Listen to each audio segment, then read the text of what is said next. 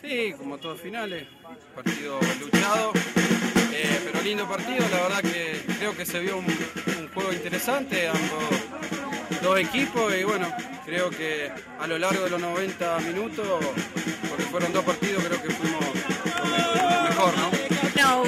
sacaron la chapa de equipo, ¿no? Muchos jugadores eh, presentes aquí en AFI y eso da ventajas.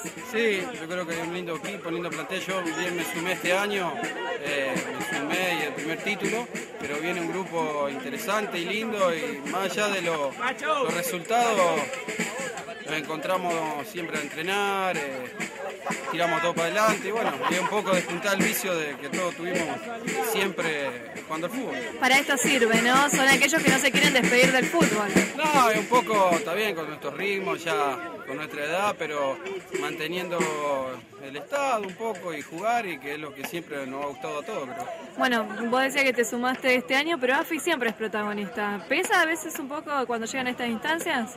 Y yo creo que sí, porque éramos el equipo a vencer, donde íbamos a jugar siempre nos querían ganar, eh, siempre se hablaba de- del equipo de AFI y, y bueno, a las claras está que llegamos a la instancia final y bueno, pudimos coronarlo con el campeonato. Bueno, ahora el aliento que le dará ¿no? este campeonato para, para la segunda etapa.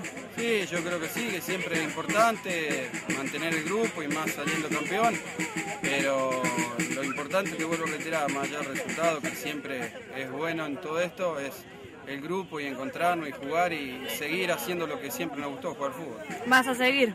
Sí, sí, yo creo que sí, porque aparte hay un lindo grupo y bueno, eh, ya lo charlamos, que todos vamos a seguir, la mayoría, así que va a seguir el mismo plantel, creo. Bueno, gracias y felicitaciones nuevamente. Bueno, muchas gracias.